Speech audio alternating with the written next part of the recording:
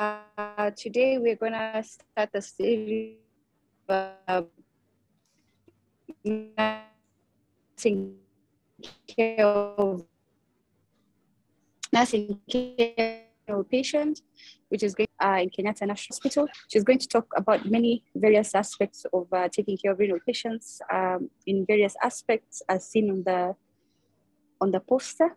Uh, join in. If you have any questions, please address them on the Q&A.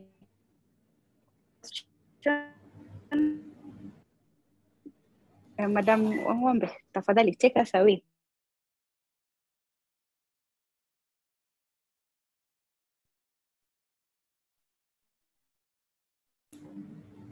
Hello, good afternoon. Yes, Wangombe, we can hear you. Uh, you can start. Oh, yes, Mm, the floor start. is yours.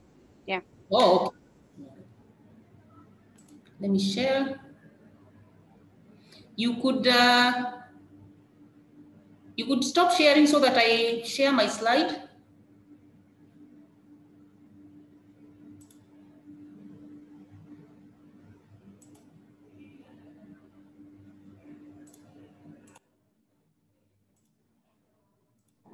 Nancy, before you start, maybe I can I can mention my co-moderator would be Stella Githaiga uh, for the Q&A session. Thank you. Okay.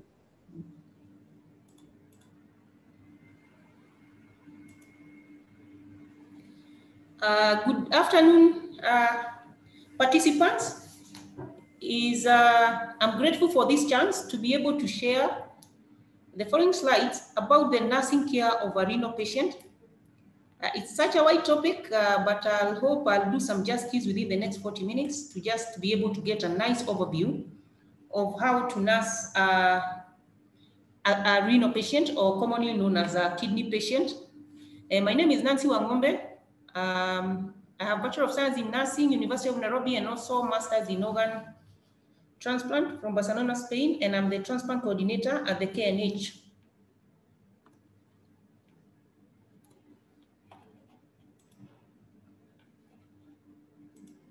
Those are the learning objectives that you should be able to know how to determine and estimate glomerular filtration rate.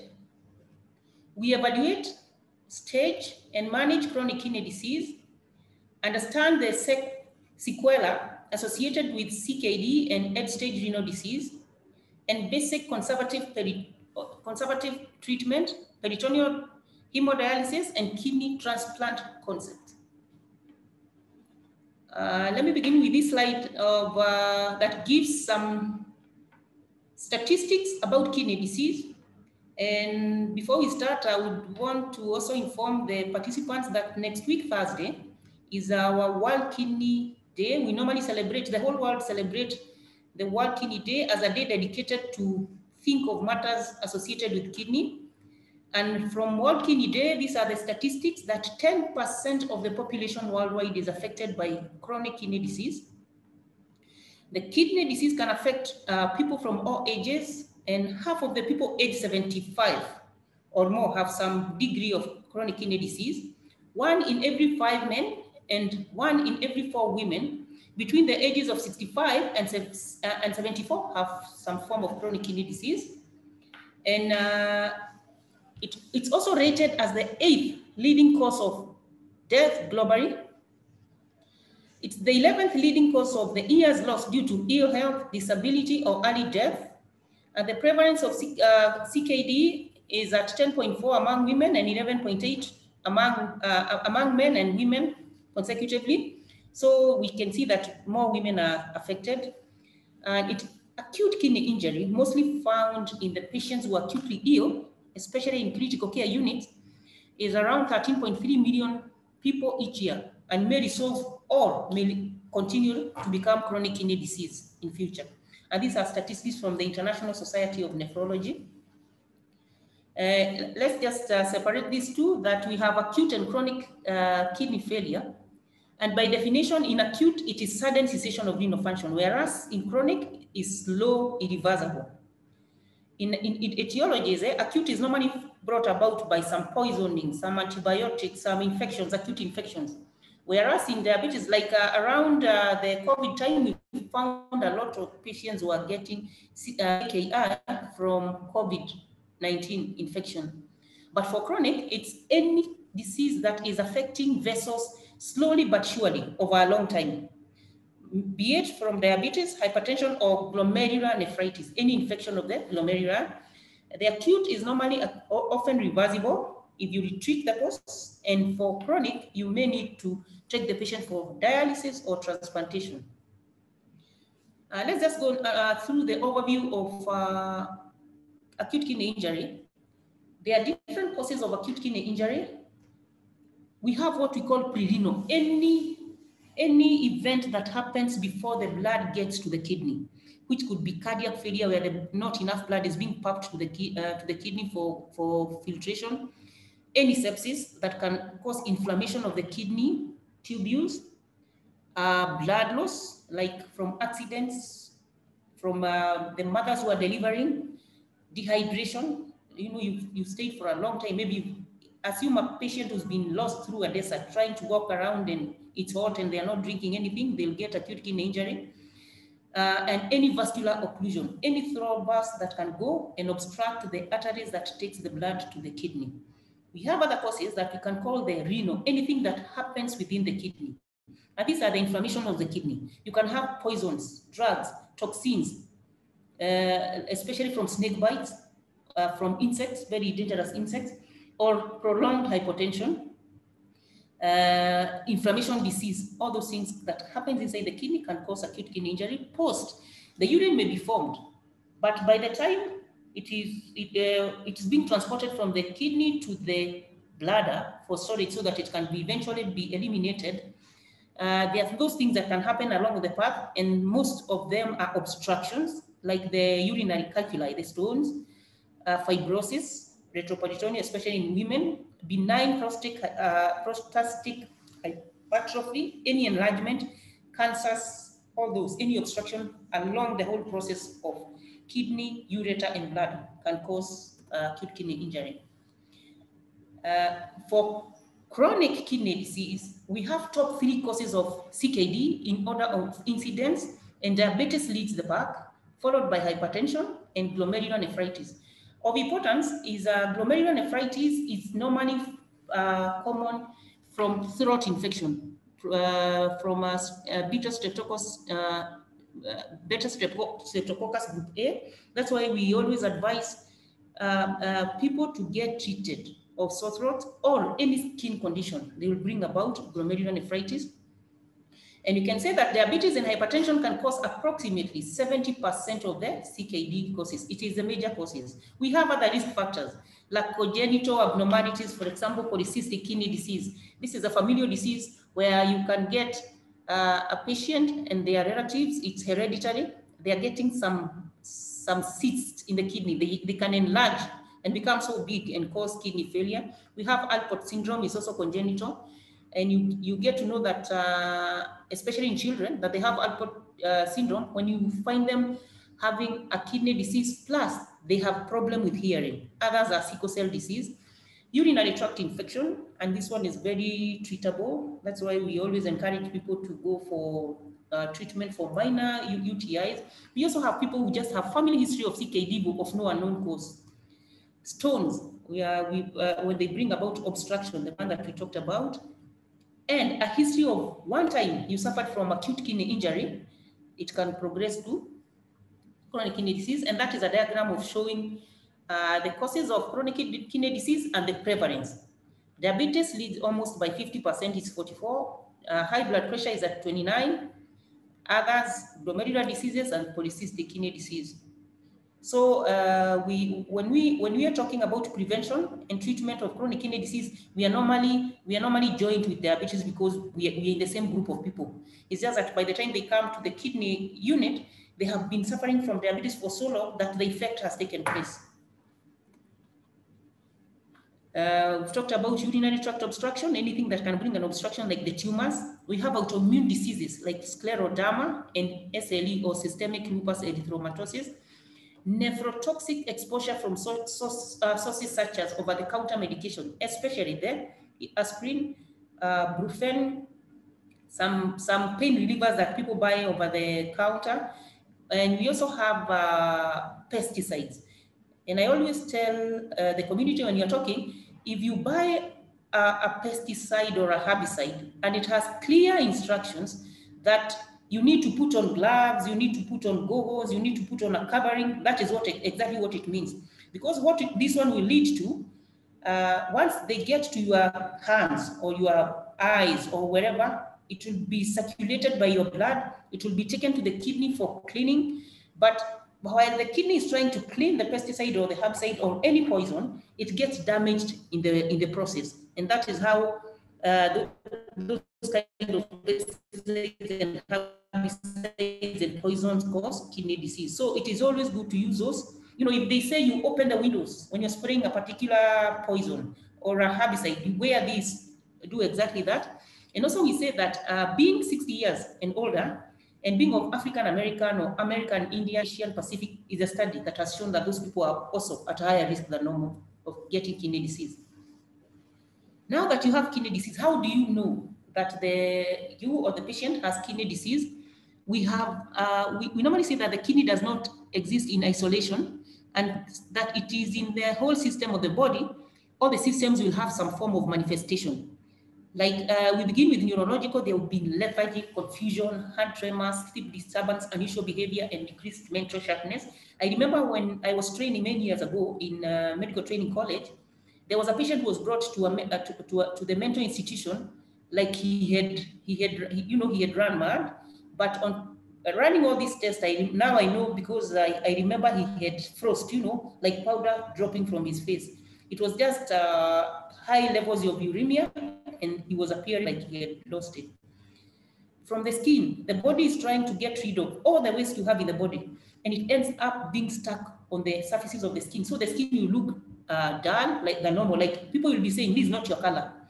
Then there will be persistent itching, trying to come out, a rash and bruising. You know, there will be like, uh, if you're hit or you're pinched, it starts bleeding from the skin.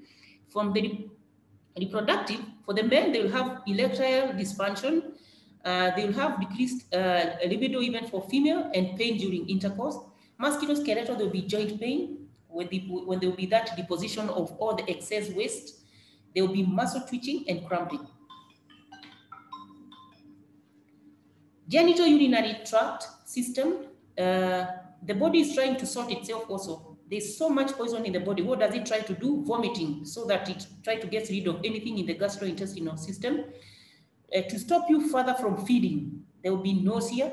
You not feel like wanting to eat anything. And the first sign, once we begin treating the patients who have kidney disease, the first sign that they are getting well, they start now getting this appetite. They feel like eating because now the, the, the, the, way they were locked with these solids has been cleared. There will be pain in the abdomen because of gastritis, loss of appetite, we've said, and also as the, especially in the AKI, there will be diarrhea that will be so smelly while the body is also trying to sort itself. And the changes in urine and output, there might be uh, reduced urine output or cessation altogether. And uh, others, you uh, especially the diabetics who've been diabetic for long, uh, the urine, instead of being the amber color, it will be clear like water, you know. We, we're just passing fluid, but we're not removing the solids the respiratory, there will be, uh, now, now if the function of the kidney of removing the fluid is not taking place, uh, fluid will be stuck all over everywhere. And the commonest places are the, uh, the lungs, and there will be shortness of, the, uh, of, uh, of breath, pain during coughing, and productive cough. And once it exceeds this, they start frothing, what we call pulmonary edema. Uh, and the edema now will be everywhere, even from the feet, you know, that we normally say that it improves during the day. But as, however, the, the, position that the patient was in, like if you sit for long, it will be the lower limbs. If they are lying on the back, it will be the sacroiliac, you know, from the face. It's been, been lying on one side of the face, one side of the face will look swollen. Uh, hematological and cardiovascular, they will be fatigued. They, they are just wondering how come I used to take these stairs and now I'm not taking these stairs uh, the clotting factor for the blood will be affected by the high urea, leading to nose bleeding. There will be feet and ankle swelling, headaches, feeling cold, dizziness, and weakness. uh, once uh, a diagnosis of kidney disease has been made uh, or there's some kidney involvement, kidneys don't fail the same from one patient to another. It's normally a whole, it's a whole, uh, it's a serialized way of failing. Like it will begin from stage one up to stage five. And after stage five, the term that is normally used from uh, now when you're stage five is chronic kidney disease or CKD, but after that it's called end stage renal disease or ES, uh, ESRD, but nowadays the term uh, renal failure, end stage renal disease is being re replaced by end stage kidney, uh, kidney disease. The R with a K, so that we are communicate with our patients. Renal, they say, is very medical, so that our patients understand the what we are talking about. We've used the, the, the word now ESKD, end stage kidney disease. It's good to note that we have the mild, moderate, and severe form of failure, and the treatments are different. What is also very discouraging or that makes it very complicated is by the time you are stage one, stage two, you may not know that you're suffering from kidney disease. And from this picture is when now during the World Kidney Day there, we will be having screening, free screening for the population. You can only know that you have some kidney uh, involvement when you're in stage one or stage two through a screening. And a basic test, like a urinalysis, if a patient is passing proteins or uh, high blood pressure and diabetes, something like that, that's the only way you'll be able to, to know that you have some kidney involvement. But from stage 3A and stage 3B, if you are very if you are very keen with yourself and you go for a medical exam, then you can start getting some symptoms somewhere, like you are coughing more often than not. But the real uh, symptoms of CKD will be when you get to severe form and the glomerular filtration rate will be below uh, 15. The glomerular filtration rate is calculated using an EGFR calculator. You will need to have creatinine levels, the age, and the and the and the gender, and then it is the same way we calculate BMI. It will be able to give this. But the normal creatinines for female is between uh, 62 to 115, 120 there, depending on every institution. And for the men, is between 53 to 100. Such that anytime you get a creatinine that is above this, then you go and do the EGFR calculation. And stage three thereabout, around stage three, the creatinine will not even be so high. It will be around 130. But you see, it will, it, it will be already in stage three. Uh, of importance around these stages is that is a, is a is what can be done at each stage. Like for example, if you, you, you notice that the patient is in stage one, stage two, up to stage 3A there, they are on drugs that affect, that are metabolized by the kidney or drugs that normally makes the kidney function worse, they are stopped from those medications. If they have high blood pressure, high blood pressure is controlled better. If they're on diabetes, their diabetes is controlled better. Rehydrate them and also adjust their diet. You know, uh, with the uh, proteins being blamed for worsening the kidney function before the beginning of dialysis, they are, they are, they, they are put on a very minimal protein diet.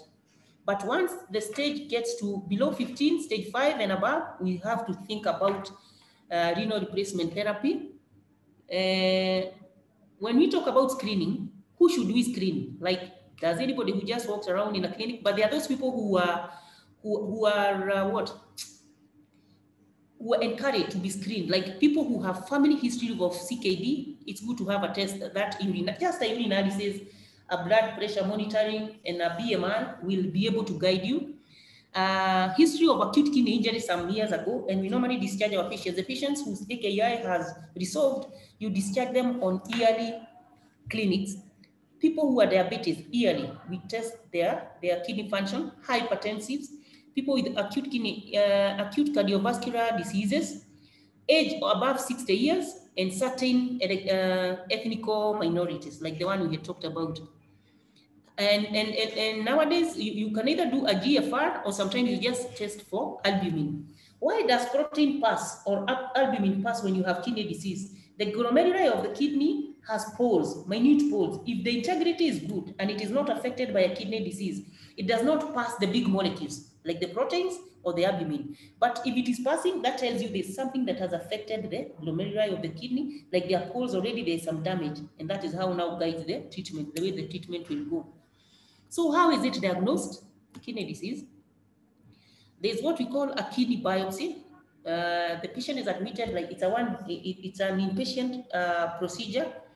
Uh, a biopsy needle is used through the back using an ultrasound machine and uh, and the and the and the and the needle is passed, get a small fragment and is taken to the bio, taken to the laboratory histology lab. Others are the kidney functions like uh, uh, urea, what we call blood urea ni nitrogen references. These ones are by, by our laboratory here. They, it can be plus or minus.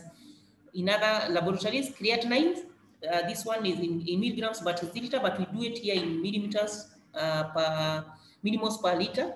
You can check for uric acid, creatinine clearance, uh, sodium, potassium, calcium, and phosphorus. But it's good to note, uh, once these things are rising, the, what makes it emergency for a patient is the potassium. If the potassium rises beyond 4.5, because the work of potassium is contraction of the muscle, uh, our heart is also a muscle, so the first organ to be affected will be the heart. And this is one of the indications of when we begin dialysis. You have to, to, to, to remove this creatinine and also bind the creatinine. So number one is, uh, is dialysis. Number two is diet. You stop the patient from ingesting further potassium and foods rich in potassium are green leafy vegetables, anything that grows on the ground like uh, all the tubers, potatoes, and if they have to be ingested by the patient, they have to be boiled and the water poured. That is called blanching to reduce the potassium level. Such that for the whole life of the chronic kidney patient, we always watch, we, we always tailor our diet and information around potassium because that is what can cause sudden death, sudden cardiac arrest. The blood urea nitrogen, even if it is high, even if creatinine is high, uh, what it can cause more is uh, just feeling patient feeling unwell, you know, but it, it, rarely is it like threatening in itself unless it is beyond some levels. Another test that can be done uh, to test for kidney disease is a kidney ultrasound, uh, where the length of the kidneys are taken, which is between, the length is between 9 and 14, and the, we always give a discrepancy of around 2 centimeters, with the length being 8 to 9 centimeters. When the patient has some form of uh, chronic kidney disease, we say that the length reduces to 8 centimeters and below. It's good to note why the doctors always request for a KUB, it gives the difference between AKI and CKD. If it's in CKD, the sizes are small, the kidney sizes will be small. But in AKI, the kidney is unwell, but chances are it is a reversible cause. That is why it is a very important uh, test us, kidney, ultrasound, and blood. Once that has happened, the kidney has failed, is not working anymore. There are three, uh, three main, uh, there are four main therapies that can be used. We have what we call conservative, supposing because eh, kidney disease is very financially intensive, like just to put a catheter and uh, start dialysis, it's nothing less than 20,000 in a government hospital. Forget the private uh, sector. Some people cannot even raise that kind of money. What do you do now? You put them on conservative treatment and we'll be seeing it in the next slide. Or another option is hemodialysis, which is now uh, being done all over the country, where the patient goes to the hemodialysis machine four, four hours, two times or three times in a week for the rest of their life. Because uh, if, the, if, if, if, the function of the kidney of clean, cleaning and, uh, and regulating fluid is not taking place, you have to do it artificially.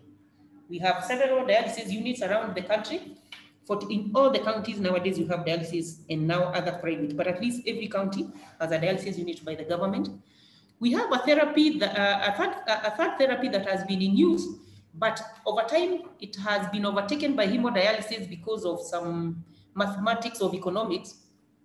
Uh, when NHIF covered hemodialysis, somehow it didn't cover peritoneal dialysis. And uh, these fluids are normally expensive. They're imported from outside and uh, that means the patient needed to cough some money from their pocket to be able to utilize it. So these peritoneal dialysis have, have been affected, has had very low numbers of patients, but mostly our children, like even in our pediatric department, uh, we have a pediatric department, they employ uh, peritoneal dialysis and it also has some very good outcome. In here, a catheter will be passed through the membrane, the peritoneal membrane, and the fluids will be passed every regularly, every four to uh, four to six hours. You wait for diffusion osmosis to take place, then you drain out the fluid. And we call it continuous ambulatory because it's non-stop. You, you, you know, you can go home overnight shower, infuse the fluid, go back to the office, go in the evening. So it's continuous. It can either be continuous like that or use a, a, a cycler. There are machines that you can use it in the night. When you are when you're sleeping, it will be doing the exchanges. And during the day, you are free. However, all these treatments are just top gap measures. Conservative, hemodialysis, peritoneal dialysis.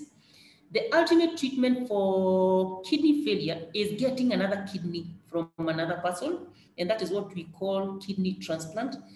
Uh, a patient will be given a third kidney around the right iliac fossa mostly, around where we, uh, the, the, belt passes, and uh, it will replace the functions of the uh, failed kidneys.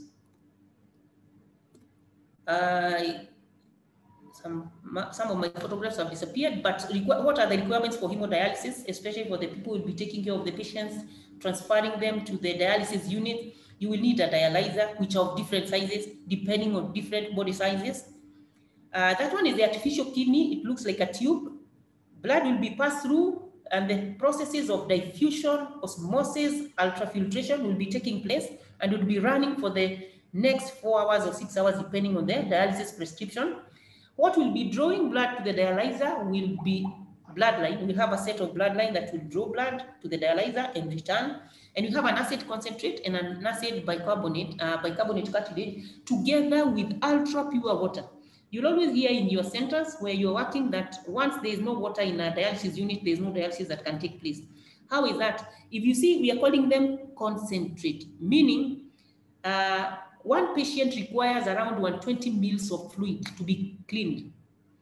So we cannot import, because most of these things we import them, we don't manufacture. You cannot import 120 liters per person. So what they do, they bring the, the, the, the fluids in concentrates of five liters and powders of uh, 750 to 950 milligrams. Then there's dilution of one part into 34 to make a fluid, a dialysate fluid. That is what we'll be used to clean the patient through the whole time. How about conservative? If we choose the conservative route, the patient will require now the support. Using the patient decision aid, you know, we initiate the care planning, we engage pri uh, primary care, uh, primary care givers, and especially the counselors, they normally come in very handy in dialysis unit because uh, we say uh, kidney disease is a chronic ailment that patient need a lot of supporting how to adjust their lives. You know, sometimes they they, they feel like uh, they did something wrong in their life. That is why they have this kidney kidney disease and all that.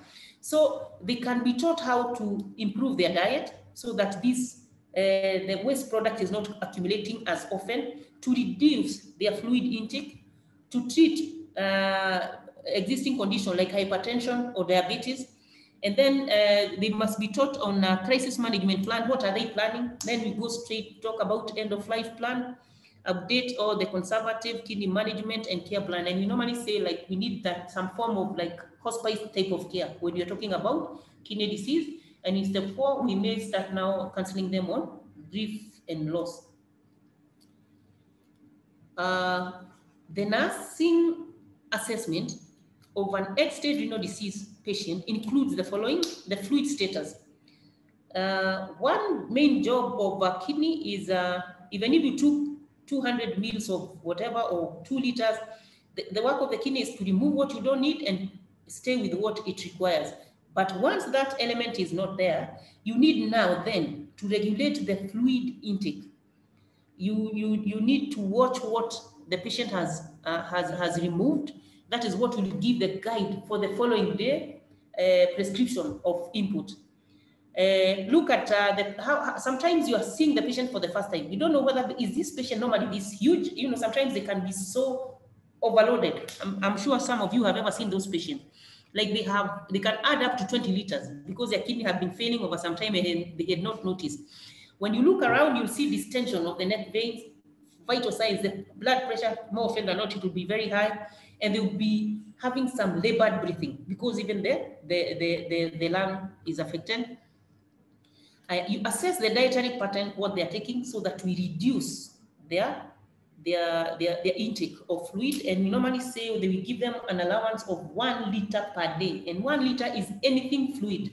be it water, soup, water for taking medication, tea, everything, such that they, they are normally fed with like a quarter cup of tea, a quarter cup of water, until you can be able to establish how to be removing uh, fluid from this patient. So get it from the history of what they like, what they don't like, and help them exchange. Like instead of taking, if you like tea more, then don't take water, then you take tea, you know, that kind of uh, an adjustment. Uh, weight changes, ask them like, in the last three months, how, how, how, how did you, how many kilograms did you weigh? Had you ever taken any laboratory values last, like let's say they said I was expected last year, I did my creatinine and urea, get those values so that you get the difference. Uh, understand the or query the cause of renal failure, its consequences and its treatment. Like uh, if it's diabetic person, you are more likely to suspect is uh, the cause will be that diabetes as much as we have some conditions that we normally call acute or chronic the, kidney must, must, could have been failing surely, but you know, over but surely. But something then attacks, like maybe some medication, you know, some dehydration because of some GI problem. Then they get uh, a, a, a, an acute kidney injury. So we normally call it acute or chronic. That is why it is important to understand the cause of their renal failure.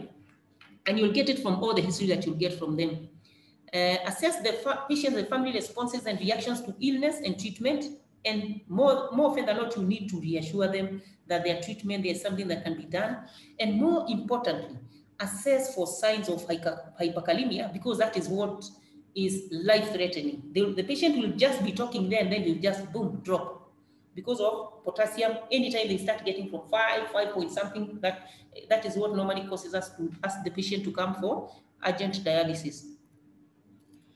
Uh, the priorities would be to maintain homeostasis, we prevent complications, and uh, the, uh, when we're talking about prevention, if the, if the fluid, for example, contain, uh, continues being high, chances are the patient will go into respiratory failure. They will need to an ICU admission. That's what we are talking about complication. Uh, cardiac arrest, those are complications. So provide information about the disease process, prognosis, and treatment.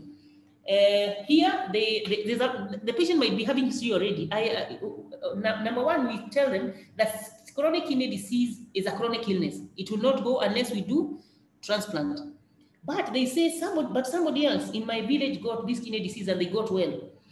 Now it's good to give them information. They might, they are, that uh, village mate or that person they are talking about could have been on acute kidney injury, not chronic kidney injuries. There's also a lot of myths around kidney disease. They'll be taken to herbalists, you know, they'll be taken to the prayer houses, all those ones. But what what what uh, is normally very uh, serious for the patient, what is normally very severe, if they take that line, is the herbalist root, because most of our herbs are made from roots. You know, they are boiled or leaves. Roots and leaves are, are high in potassium, and that is what normally will cause now the sudden death to this patient. Then there's prescription. More often than not, you'll find the patient has been given a whole five liters, and you are talking about reducing fluid intake. That is uh, that is the part that you normally take a lot of information. You're telling somebody all along you've told the person that it's good to take green leafy vegetables for your need of vitamins, but now again you're telling them you're not supposed to take green leafy vegetables. You know you're supposed to reduce. So that lifestyle adjustment and support normally takes a lot of time for, uh, for our kidney patient. Uh, for the diagnosis, uh, for you to come up with the diagnosis, it will be based on those assessments.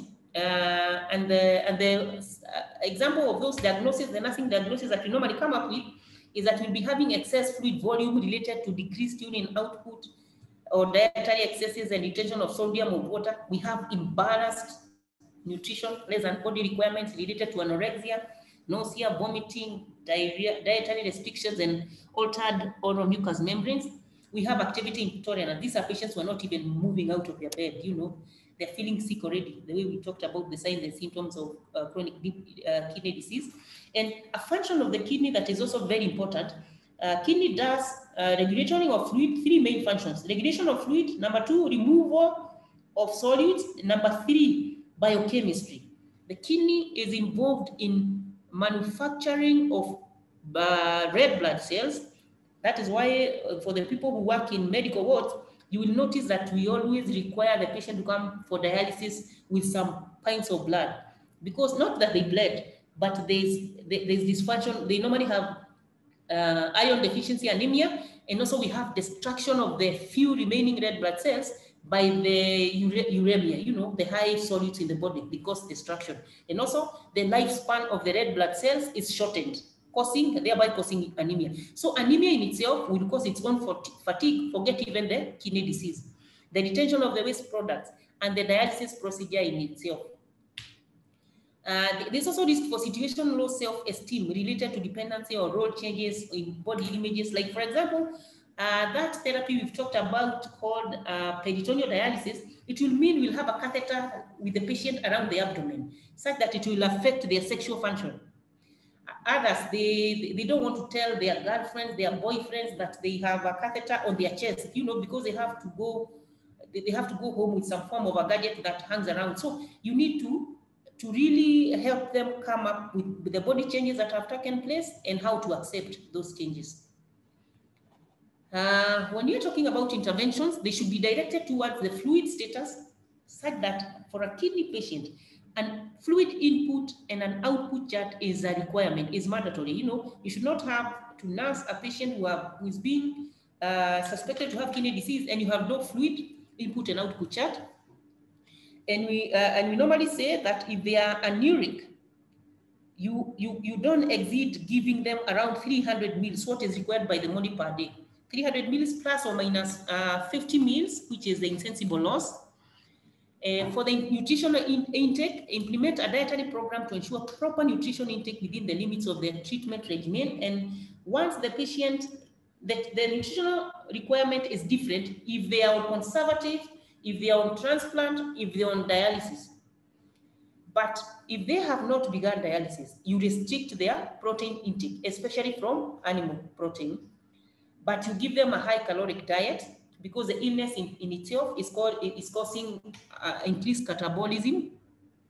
Teach them some form of independence, which promotes positive feelings by encouraging increased self-care and uh, uh, greater independence. Let them not have self-rule. Oh, that nowadays I'm unwell, so now I'll be sleeping around. Let them know that once you will dialyze you within a day or two, if you are stable, it's good to get back to your places of work. Like we normally have even patients who make arrangements to be dialyzing at night. They have gone back to their economic models of, of working. You know, they're working, they're teachers, they're nurses, they're, they're, you know, they work at the bank and all that. Let them continue being independent. A protein uh, intake of high biologic value protein for the patients who are dialyzing, but not on the patients who are on uh, conservative. Medications, you should alter the medication so that they are not given immediately after meals so that they don't, you know, they don't feel, they, they, are, they are normally feeling nauseated. And more often than not, the doctors will have adjusted the type of medications, like all the medications are, that are nephrotoxic, like even gentamicin, they are changed to others, like the penicillin. Then uh, uh, uh, encourage them to alternate activity with rest, like they can walk around, but also continue uh, resting. And I think my time is finished. I've also uh, I've also completed my presentation. It, it, it, it's a big thing that should maybe should come in series. You know, like today we do peritoneal dialysis, tomorrow we do dialysis like that. But uh, at least we begin somewhere, and that is the overview of kidney disease and the different management. Thank you for listening. Thank you, Nancy. That was quite an insightful uh, presentation. And uh, I like what you're recommending, this being the premiere of the, the nursing series webinars. I think we can always uh, incorporate some of the suggestions. Uh, straight to the Q&A. Uh, let me read some of the questions that have come up. Uh, somebody has asked, what is the lifespan of a donated kidney? Let me read a few and then I'll hand it back to you so that you can be able to respond. Uh, that's lifespan of a donated kidney. Somebody else has asked, in case HIV positive client has elevated creatinine and normal GFR, what can you advise for this case? Um, someone else has asked, can peritoneal dialysis work for a patient who has abdominal scars? I think let's take those three first and then we can always go back and see how many more we can respond to. Over to you, Nancy. Uh, thank you so much for, uh, for, for those questions. I begin by this photograph. I should have talked something small about this photograph. This one, as you can see, is an iceberg. On top, you can only see the top. You can't see the whole thing in the bottom. And that is what we normally say kidney disease is all about. A lot of kidney diseases are below here. We are just talking about the ones who are on uh, dialysis. Uh, let's talk about the lifespan of a kidney disease, uh, of a kidney, of a donated kidney. It depends on the source you can either have a kidney from a deceased donor, the patients who are just about, you know, who have some form of brain death, they're in ICU, or a living donor. A living donor is where me and my sister, we can walk to a unit and I donate the kidney to them. The lifespans are different. The, the, the, the, and also the match. How was the match by the time? How well were you genetically related to this person when you were giving the kidney? Uh, if, if, it's a poor match and uh, not genetically related around 10 years, with the new medications, we are getting anything between 25, 20, uh, between 15 to 25 years. So on average, we say that a new kidney, a donated kidney can on average take 10 years. About the HIV, uh, let me also say that creatinine is not the is not the only marker for a kidney disease. That is, you don't make diagnosis of kidney disease using you think creatinine alone because we have other causes of high creatinine. Other causes of high creatinine are uh, when you when you you you get some muscle wasting. You know, creatinine is a is a product of muscles. So if a patient is losing weight, you know, maybe with the diagnosis of HIV, not eating well, you know, all those problems, they are losing their weight randomly, such that you'll find their creatinine is high. That is why, independently as a marker, you never use creatinine as a as, as a sign of, uh, of, of, kidney disease. The other reason, even children who are diarrheaing, they are losing weight, also you find they have high creatinine, even if their kidney is not, is not uh, affected. And uh, they say the best test for kidney it's called an inulin test. So the, the, the, the, the patient should continue being followed closely uh, their medications adjusted just in case there's a, a, a medication that is that, that that has a problem with the kidney, just like the TB treatment. But uh, yeah, that that is that. Creatinine alone is not a, a sign of kidney disease. Peritoneal dialysis, yes, we have indications and contraindications for each therapy. Even hemodialysis, we have indications for hemodialysis, contraindications. Peritoneal dialysis, the same. Kidney transplant, the same. Is not everybody who is transplantable of the peritoneal dialysis, patients who have uh, abdominal surgeries, those ones are not good candidates for peritoneal dialysis because the integrity of the peritoneum must be there. Uh, sometimes they, they, there's communication, you know, they have all those hernias there and they bring uh, complication for the doing the exchanges. Uh, I'm, I'm hoping I've answered their questions. Stella, we continue. Yes, I think you have answered. Uh, I'll take a couple of more questions. Uh, somebody has asked, um, is AKI a risk factor for CKD later in life?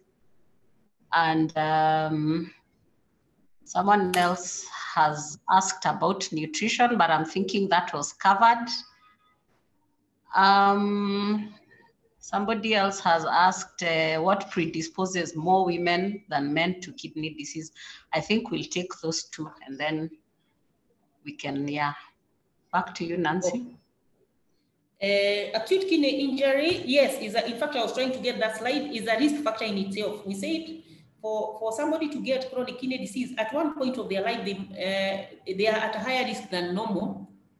Uh, where is it? Yeah, here it is we had said uh, they have other risk factors of chronic kidney disease and a history of acute kidney injury. Uh, because maybe the kidney, uh, the kidney was affected more, it just recovered, but the process again for moving into CKD has restarted. So acute kidney injury in itself is a risk factor and the patient who have recovered from AKI needs to be followed in a clinic for the yearly clinics for the rest of their life. Some of them may not develop uh, kidney, uh, chronic kidney disease, others may, but it is a risk factor, not a cause. Uh, nutrition, we have said we have dealt with nutrition. Sorry, the, the, the other question, Stella? question was why what predisposes more women than men to kidney disease oh uh, you saw the, the, you saw the I, I, had displayed the risk factors for for, for chronic kidney disease, UTI is one of them.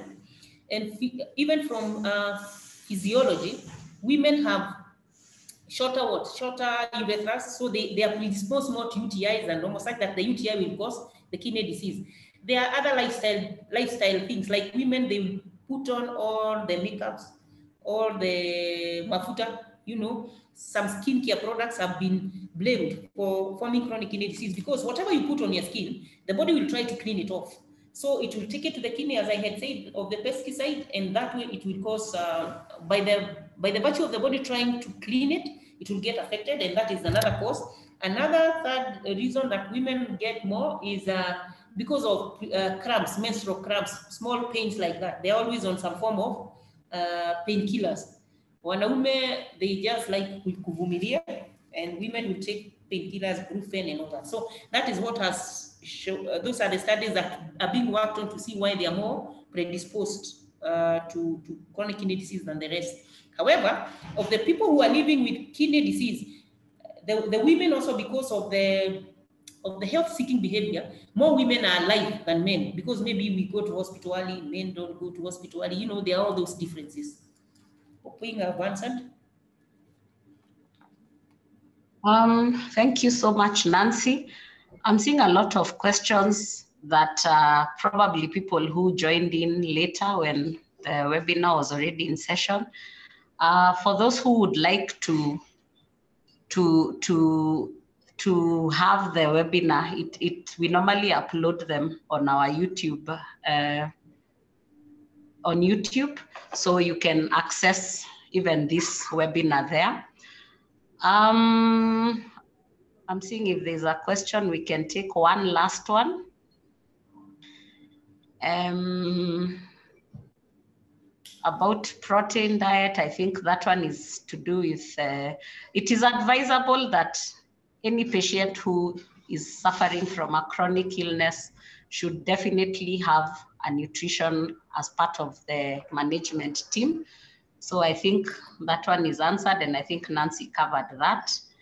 Um, somebody is asking, are we practicing CKM in KNH? Um, CKM? Nancy? CKM? Yes, CKM. Meaning? I have no idea. Let's just leave that.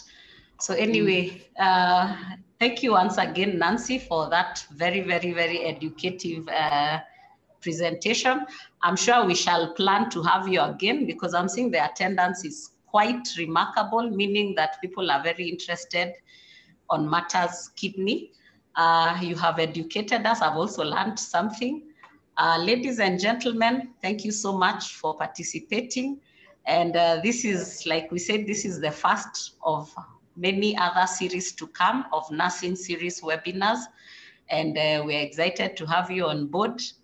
And we encourage that uh, that even next time when you attend, kindly invite a friend, uh, ask as many questions in the Q&A session. Those who are not able to join us from the beginning, you can be able to access this webinar on our YouTube and even on uh, our website, the KNH website. Otherwise, thank you so much. And uh, I think we can call it a day. You're free to leave ladies and gentlemen. Thank you.